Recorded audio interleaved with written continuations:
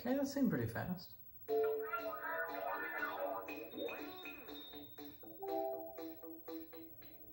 That seemed pretty good. I like that one.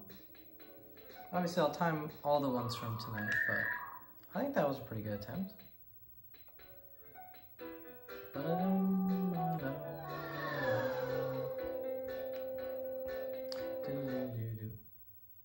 Oh, I actually pressed start.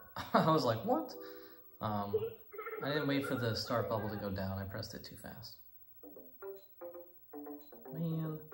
Now I don't get to see the no logo credits? Come on.